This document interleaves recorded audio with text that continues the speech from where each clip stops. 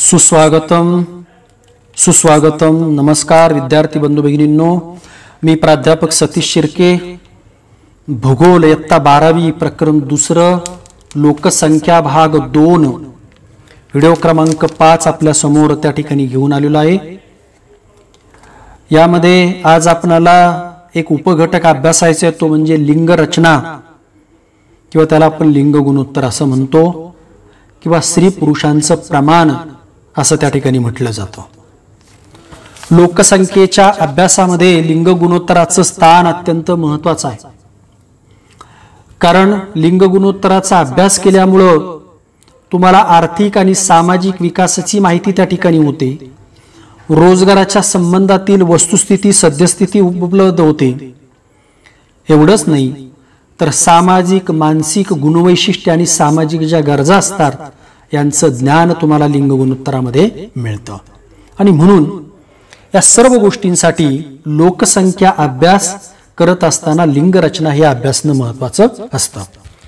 आता एखाद्या प्रदेशातील स्त्री पुरुष प्रमाण म्हणजेच लिंग गुणोत्तर ही सर्वसाधारण सोपी व्याख्या आपणाला सांगता येईल किंवा स्त्री व पुरुषांची लोकसंख्येतील प्रमाणाला आपण लिंग गुणोत्तर असं म्हणतो.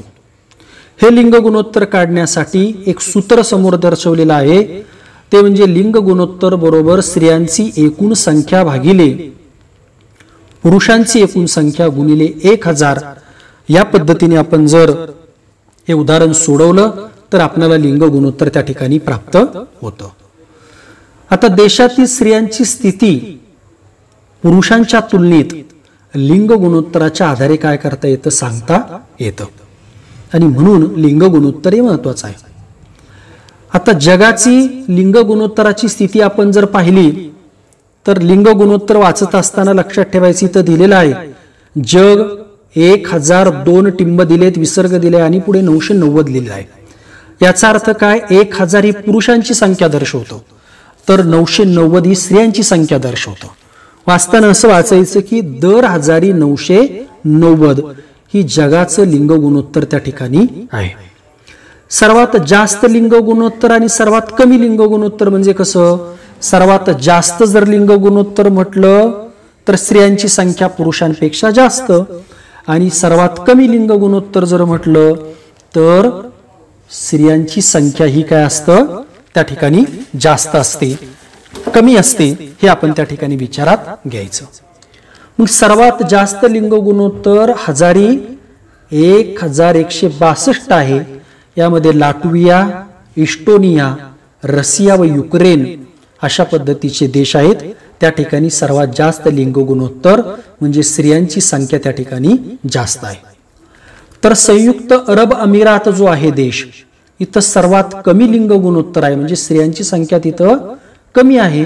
दर हजारी सहाशे सदुसष्ट. एवढी आहे हे आपल्याला या ठिकाणी लक्षात येतं. आता सर्वात कमी लिंग गुणोत्तर म्हणजे स्त्रियांची संख्या कमी. तर यामध्ये चीन भारत भूतान पाकिस्तान आणि अफगाणिस्तान हे भारताशेजारीलच देश आहेत पा इथं लिंग गुणोत्तराचं प्रमाण हे अत्यंत कमी आहे. स्त्रियांची संख्या ही कमी चिंताजनक असलेली आपल्याला सांगता येईल. आता खंडानुसार लिंग गुणोत्तर जर पाहिलं तर आशिया खंडाचं लिंग गुणोत्तर सर्वात कमी म्हणजे दर हजारी नऊशे चोपन्न आहे. तर युरोप खंडाचं लिंग गुणोत्तर हे सर्वात जास्त म्हणजे दर हजारी एक हजार पंच्याहत्तर एवढं असलेलं आपल्याला सांगता येईल. त्यानंतर आता समोर तुम्हाला एक वेगळा वेगळी स्लाइड त्या ठिकाणी दिसते. लोकसंख्येचा लाभांश. असं उपघटक त्या ठिकाणी आपल्याला आढळून येतोय. तर लाभांश म्हणजे थोडक्यामध्ये प्रथमतः लक्षात घ्या की एखाद्या देशाच्या वयोरचनेत होणाऱ्या बदलामुळं त्याच्या अर्थव्यवस्थेत जी वाढ झालेली असते त्या अर्थव्यवस्थेतील वाढीला लोकसंख्येचा लाभांश असं म्हटलं जात. पुन्हा आपण ते पाहणार आहोत. परंतु तुमच्यासाठी एक ऍक्टिव्हिटी जिथे दिलेली आहे सांगा पाहू. खालील तक्त्याचं वाचन करायचे आणि वाचन करून त्या खाली दिलेल्या प्रश्नांची उत्तरं आपणाला या ठिकाणी द्यायची तुम्हाला ती द्यायची विशेषतः. तर तीन तक्ते दिलेले आहेत. तीन कॉलम दिलेले आहेत. एक तक्ता दिलेला आहे. तीन कॉलम दिलेले आहेत. पहिल्या कॉलममध्ये दशक कार्य दुसरा कॉलम आहे कार्यशील आणि अकार्यशील लोकसंख्येचं गुणोत्तर. तिसरा कॉलम आहे कार्यशील लोकसंख्येची टक्केवारी. आता दशकामध्ये आपण पाहूया दोन हजार एक ते दोन हजार दहा या दशकामध्ये एक पॉईंट तेहतीस ला एक अशा पद्धतीची अंक तुम्हाला दिसतोय. तर कार्यशील लोकसंख्येची टक्केवारी सत्तावन्न पॉईंट एक या ठिकाणी आहे. म्हणजे दुसऱ्या कॉलममध्ये सुरुवातीला कार्यशील लोकसंख्येचा अंक दर्शवतो आणि पुढं एक हा लोक अकार्यशील लोकसंख्येचा अंक त्या ठिकाणी दर्शवतो. तर ही आकडेवारी दशकानुसार त्या ठिकाणी दिलेली आहे. दोन हजार अकरा वीस त्या ठिकाणी आहे. दोन हजार एकवीस तीस हे अंदाजे दिलेला आहे. येणार आहे ते पुढे. दोन हजार एकतीस चाळीस हे सुद्धा अंदाजे आकडेवारी दिलेली आहे. आणि तुम्हाला पहिला प्रश्न त्या ठिकाणी विचारलेला आहे की तक्त्यातून कोणती माहिती मिळते? तर तक्त्याचं तिथं नाव दिलेले भारत लोकसंख्येचा लाभांश याची माहिती तुम्हाला दिलेली आहे. त्यामध्ये कार्यशील आणि अकार्यशील लोकसंख्येची माहिती तुम्हाला या तक्त्यातून मिळते. दुसरा प्रश्न आहे दुसऱ्या व तिसऱ्या स्तंभाचा सहसंबंध काय? आता दुसऱ्या स्तंभामध्ये कार्यशील आणि अकार्यशील लोकसंख्येचं गुणोत्तर दिले आणि त्या आधारे तिसऱ्या कॉलममध्ये फक्त कार्यशील लोकसंख्येची टक्केवारी त्या ठिकाणी दिलेली आहे. तर हा संबंध सहसंबंध तुम्हाला त्या ठिकाणी दर्शवता येईल. प्रश्न क्रमांक तिसरा पहा. या सहसंबंधाचा भारताच्या अर्थव्यवस्थेवर कोणता परिणाम होतो? हे जर आकडेवारी दिलेली भारताच्या संदर्भातील आहे मग काय सहसंबंध त्या ठिकाणी सांगता येईल? तर यामध्ये भारतात कार्यशील आणि अकार्यशील लोकसंख्येचं गुणोत्तर जर पाहिलं तर भारतामध्ये कार्यशील म्हणजे काम करणाऱ्या लोकसंख्येचं प्रमाण हे आज जास्त आहे. ते दुसऱ्या तिसऱ्या स्तंभात दिले. कार्यशील लोकसंख्येची टक्केवारी ही पहिल्या दशकामध्ये सत्तावन्न पॉईंट एक आहे म्हणजे पन्नास टक्क्यापेक्षा जास्त आहे हे आपणाला सांगता येईल. आणि नंतरच्या दशकामध्ये ती साठ पॉईंट पाच चौसष्ट पॉईंट चार आणि त्रेसष्ट पॉईंट दोन अशा पद्धतीने जवळजवळ वाढताना आपल्याला त्या ठिकाणी दिसून येते. मग याचा फायदा किंवा भारताच्या अर्थव्यवस्थेला काय परिणाम होईल? तर कार्यका कार्यशील लोकसंख्या जर वाढली तर त्या ठिकाणी मनुष्यबळाची उपलब्धता होणार आहे आणि त्याचा फायदा हे सर्व लोक जेव्हा काम करतील त्यावेळेस भारताच्या अर्थव्यवस्थेला एक बळकटी आणण्याचं काम या ठिकाणी होणार आहे. आणि भारत महासत्ता बनण्याच्या दृष्टिकोनातून ही बाब अत्यंत त्या ठिकाणी महत्वाची आहे. चौथा प्रश्न दिलेला आहे की उपरोक्त प्रमाण पुढील दशकात कमीच झाल्यास काय होईल? आता हा थोडासा संदिग्ध प्रश्न मला वाटतो की प्रमाण कमी झाल्यास म्हणजे कार्यशील लोकसंख्येचं प्रमाण कमी की अकार्यशील लोकसंख्येचं? तर कार्यशील लोकसंख्येचं प्रमाण जर कमी झालं तर मनुष्यबळ कमी होईल. अकार्यशील लोकसंख्येचं प्रमाण जर कमी झालं तर आपणाला मनुष्यबळाची उपलब्धता होईल.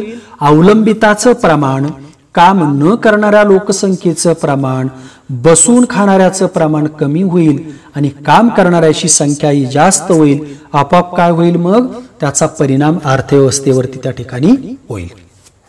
त्यानंतर आता लोकसंख्येच्या लाभांशाचं जे स्पष्टीकरण आपल्याला पाहिजे ते समोर दिसतंय. की एखाद्या देशाच्या वयोरचनेमध्ये होणाऱ्या बदलामुळं त्याच्या अर्थव्यवस्थेत झालेली वाढ म्हणजे लोकसंख्या लाभांश होय किंवा भागधारकांना प्राप्त झालेल्या नफ्यातील लाभ म्हणजे लोक लोकसंख्या लाभांश असं म्हटलं जातं. तुम्ही पहा की मार्च मध्ये बऱ्याच बँकांचं पतसंस्थांचं त्या ठिकाणी नफा तोटा जाहीर होतो. आणि मग लाभांश मिळेल असं म्हटलं जातं. म्हणजे काय? की नफ्यातील जो भाग आहे त्यांचा अंश आहे तो त्या ठिकाणी मिळेल. तशाच पद्धतीनं लोकसंख्येचा लाभांश म्हणजे भागधारकांना प्राप्त झालेल्या नफ्यातील लाभ हा या ठिकाणी उपलब्ध होईल. आता हा जो बदल आहे हा बदल जन्मदर व मृत्यूदर कमी झाल्यानं घडून येतो. जन्माचं प्रमाण कमी जर झालं तर अर्थात अवलंबिताची संख्या ही कमी होते आणि कार्यशील लोकसंख्येची संख्या काय होते त्या ठिकाणी वाढते. एक साधं गणित या ठिकाणी आहे की कार्यशील लोकसंख्या म्हणजे काम करणारी लोकसंख्या. त्यानंतर अवलंबित लोकसंख्या किती आहे ते पाहिलं जातं आणि मग त्याचा अर्थव्यवस्थेवरती कसा परिणाम होतो हे पाहिलं जातं. आता मी तुम्हाला तुमच्या कुटुंबातलं उदाहरण त्या ठिकाणी सांगतो. तुमच्या कुटुंबामध्ये समजा तुमचे वडील आणि आई आहे आणि तुम्ही तीन भावंड आहेत अशी कल्पना करा. वडील एकटे कमवणारे आहेत म्हणजे कार्यशील लोकसंख्येमध्ये एक व्यक्ती फक्त कमवणारी आहे. आणि मग अवलंबित लोक किती आहात? तुम्ही त्या ठिकाणी चार आहात.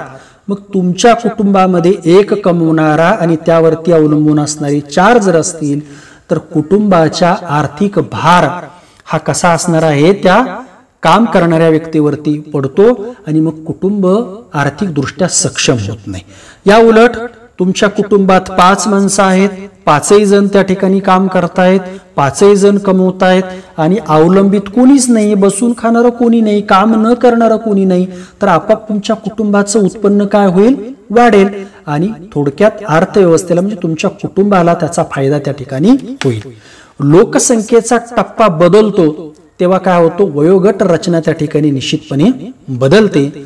कमी जन्मदर असेल अवलंबित लोकसंख्या जर कमी असेल आणि कार्यशील लोकसंख्या जर जास्त असेल तर आपाप काम करणाऱ्याची संख्या उपलब्ध होते अतिरिक्त मनुष्यबळाची उपलब्धता होते आणि आर्थिक विकासाचा वेग पण काय होतो त्या ठिकाणी वाढतो.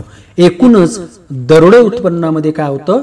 वाढ होते आणि आर्थिक फायद्याच्या लाभाच्या रूपामध्ये तुम्हाला तो लाभ त्या ठिकाणी मिळतो आणि म्हणून लोकसंख्येचा लाभांश हा अत्यंत महत्त्वाचा आहे.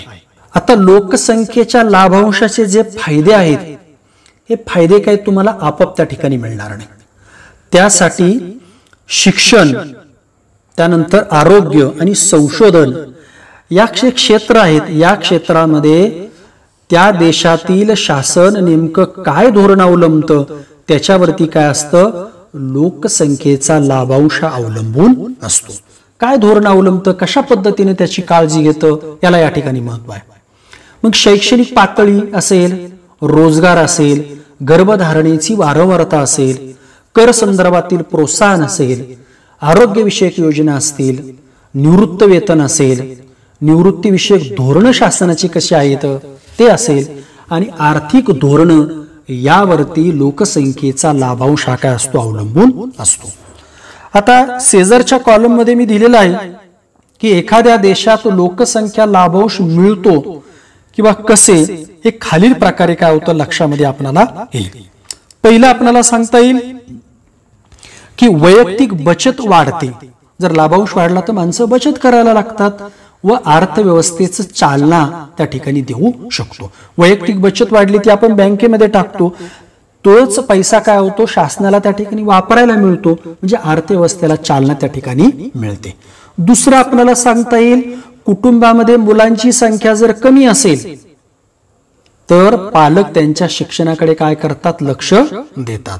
म्हणजे उदाहरणार्थ तुम्ही तीन भावंड असतील. एकाने आज पेन्शिल मागितली एकाने आज कंपास मागितली एकाने आज वया मागितल्या.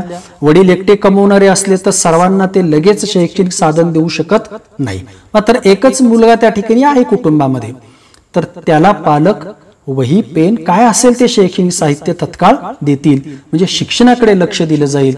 आणि अशा प्रकारे मानवी म्हणजे ज्याला कुशल कामगार म्हणतो त्याचं भांडवल आपोआप काय होतं? त्या ठिकाणी तयार होतं. त्यानंतर महिला कार्यशील व आर्थिक दृष्ट्या सक्षम बनल्यास त्याचा देशाचा आर्थिक विकास वाढीस हातभार त्या ठिकाणी लागतो. आणि म्हणून आपण पाहतो की शासनाचं महिला कार्यक्षम बनल्या पाहिजेत आर्थिक दृष्ट्या त्या सक्षम बनल्या पाहिजेत. म्हणून महिला सबलीकरण असेल महिलांना विविध प्रकारच्या सेवा सुविधा असतील त्या ठिकाणी प्राप्त करून देण्याची जबाबदारी त्या ठिकाणी शासन पार पाडताना आपल्याला त्या ठिकाणी सांगता येईल. आणि चौथा मुद्दा त्या ठिकाणी आपणाला दिसतोय की अवलंबित गुणोत्तर कमी झाल्यानं दरडोळी उत्पन्न काय होतं? वाढतं. म्हणजे कुटुंबामध्ये परावलंबी अवलंबित असणारे काम न करणारे लोक जर आपोआप कमी झाले तर कुटुंबाचं दरोडे उत्पन्न वाढल्याशिवाय त्या ठिकाणी राहणार नाही. आणि म्हणून यासाठी या लोकसंख्या अवलंबिताचा अभ्यास महत्त्वाचा असतो. आता या ठिकाणी तुम्हाला एक समोर तक्ता दर्शवलेला आहे. यामध्ये एका बाजूला एक पाच सहा देशांची नावं दिलेली आहेत आणि दुसऱ्या बाजूला एक चार्ट त्या ठिकाणी दिलेला आहे. तर हा चार्ट तुम्ही जर बारकाईने जर पाहिला तर तुम्हाला त्यामध्ये देशाचं सेवानिवृत्तीच्या बाबतीमध्ये त्या ठिकाणी काही बाबी स्पष्ट केलेल्या आहेत. आणि तुम्हाला या तक्त्याचं बारकाईने निरीक्षण करून आपणाला काय करायचंय त्या शेजारी जे प्रश्न दिलेले आहेत त्या प्रश्नांच्या उत्तराची चर्चा आपल्याला या ठिकाणी करायची काय आहे पहिला प्रश्न? की वरील तक्ता काय दर्शवतो? तर आर्थिक निकषावरती लोकसंख्या वैशिष्ट्य स्पष्ट करत असताना त्याचा देशाच्या आर्थिक विकासावर होणारा परिणाम स्पष्ट करण्याचा प्रयत्न या ठिकाणी केलेला आहे आणि सेवानिवृत्तीच्या वयाच्या बाबतीमध्ये जे वेगवेगळे देशांचे जे निर्णय आहेत ते निर्णय या ठिकाणी आपल्याला दिसून येतात. तर हे या पहिल्या तक्त्यामध्ये आपल्याला त्या ठिकाणी दर्शवलेलं आहे. दुसरा प्रश्न आहे विकसित आणि विकसनशील असे या देशाचं वर्गीकरण करा. आता हे वर्गीकरण करत असताना विकसित आणि विकसनशील हे वर्गीकरण करत असताना तिथं तुम्हाला या चार्टमध्ये सेवानिवृत्तांचं वय दिलेलं आहे. ज्या देशामध्ये सेवानिवृत्तीचं वय अधिक आहे त्या देशामध्ये आयुर्मान चांगलं आहे आणि त्या ठिकाणचे लोक कसे आहेत की काम करायला सक्षम आहेत ते देश निश्चितपणे त्यांचं आरोग्य चांगलं आहे म्हणून ते देश विकसित देशामध्ये गणले जातील. आणि ज्यांच्यामध्ये की सेवानिवृत्तीचं वय कमी आहे आयुर्मान कमी आहे ते देश विकसनशील त्या ठिकाणी आहे. आता त्याचं वर्गीकरण करत असताना या विकसित देश कोणते? तर त्यामध्ये जर्मनी संयुक्त संस्थाने युनायटेड युनायटेड किंगडम ऑस्ट्रेलिया चीन आणि जपान हे सर्व देश कशामध्ये आहेत? विकसित आहेत. फक्त भारत हा एकमेव असा देश आहे की तो विकसनशील च्या टप्प्यावरती त्या ठिकाणी आहे. प्रश्न तिसरा आहे की या देशामध्ये सेवानिवृत्तीचं वय वाढवण्यामागील कारणे कोणती असू शकतात? आता या देशांनी सेवानिवृत्तीचं वय वाढवलेलं आहे. आपल्याकडे साधारणपणे अठ्ठावन्न साठ हे सेवानिवृत्तीचं वय आहे. तिकडं मात्र सदुसष्ट पर्यंत केलेलं आहे. काही ठिकाणी जास्त करण्याच्या ते विचारात आहेत. मग असं का केलेलं आहे? तर त्या ठिकाणी पहिली गोष्ट आपणाला सांगता येईल की सेवानिवृत्तीचं वय जास्त करण्यापाठीमागं तिथले लोकांची कार्यक्षमता उत्तर वयामध्ये वृद्धापकाळामध्ये सुद्धा टिकून आहे. त्या लोकांची कार्यक्षमता चांगली आहे. आणि दुसरी गोष्ट म्हणजे सेवानिवृत्तीचं वय पाठीमागं वाढवण्या पाठीमाग की त्यांना ते मनुष्यबळ ते प्रशिक्षित असतं. बऱ्या वर्षानुवर्ष काम करणार असतं. त्यामुळं ते प्रशिक्षित मनुष्यबळ त्यांना दीर्घकाळ अनुभवी ज्याला आपण सेवक म्हणतो ते सेवक त्यांना दीर्घकाळ त्या ठिकाणी कामाला मिळतात. म्हणून या देशामध्ये सेवानिवृत्तीचं वय त्या ठिकाणी वाढवलेलं आहे आणि त्यांच्याकडे तसे मनुष्यबळ कमी आहे म्हणून आहे त्या मनुष्यबळाकडून ते काम करून घेताना आपल्याला आढळून येतात. प्रश्न चौथा आहे की सेवानिवृत्तीच्या वयातील वाढीचा संबंधित देशाच्या अर्थव्यवस्थेवर काय परिणाम होईल? आता या देशातील लोकांनी काय केलंय की सेवानिवृत्तीची तारीख पुढे ढकलली. मग काय अर्थव्यवस्थेवरती परिणाम होईल? तर एखादी व्यक्ती रिटायर झाल्यानंतर त्याला अनेक प्रकारचे लाभ त्या ठिकाणी द्यावा लागतात. त्याच्या नोकरीतून वर्ष वर्षानुवर्ष आयुष्यभर जी काही रक्कम साठलेली आहे ती रिटायर झाल्यावर त्याला लगेच द्यावं लागते. मग त्याचबरोबर त्याला सेवानिवृत्तीचे काही अन्य लाभ असतील तर ते अन्य लाभ द्यावा लागतात. काही देशामध्ये भारतामध्ये काही लोकांना पेन्शन चालू आहे. ती पेन्शन त्याला द्यावी लागते. आणि पुन्हा त्याच्या जागेवरती नवीन माणूस घेतला म्हणजे त्यालाही पगार त्या ठिकाणी यावा लागतो. सेवानिवृत्तीचं वय वाढवल्यामुळं त्याला एकदम रक्कम देण्याचा प्रश्न नाही. त्यानंतर त्याला त्या ठिकाणी पेन्शनसारखा लाभ देण्याचा प्रश्न लवकर येत नाही आणि दीर्घकाळ तो प्रशिक्षित त्या ठिकाणी मनुष्य कामाला मिळतो त्यामुळं एक प्रकारे त्या देशाच्या अर्थव्यवस्थेवरती त्याचा चांगला परिणाम झालेला आपल्याला दिसून येतो. म्हणून हे जे प्रगत राष्ट्र आहे त्यांनी काय केलेलं आहे की निश्चितपणे सेवानिवृत्तीचं वय त्या ठिकाणी वाढवलेलं आपल्याला सांगता येईल. त्यानंतरचा प्रश्न आहे की चीन दोन हजार पंचेचाळीस पर्यंत सेवानिवृत्तीचं वय वाढविण्यावर का विचार करत असेल? आता दोन हजार पंचेचाळीस नंतर पर्यंत तो सेवानिवृत्तीचं वय वाढवणार आहे. आपल्याला माहीत आहे की चीन हा सर्वाधिक लोकसंख्येचा देश आहे. म्हणून चीननं त्या ठिकाणी आपत्त्यांना जन्म देत असताना त्या ठिकाणी अतिशय कठोर पावलं उचललेली आहेत. कुटुंब नियोजनाला त्यांनी प्राधान्य दिलेलं आहे. त्यामुळं त्या ठिकाणी नवीन जन्माला येणाऱ्या बालकांचं प्रमाण हे त्या ठिकाणी दिवसेंदिवस कमी होत आहे.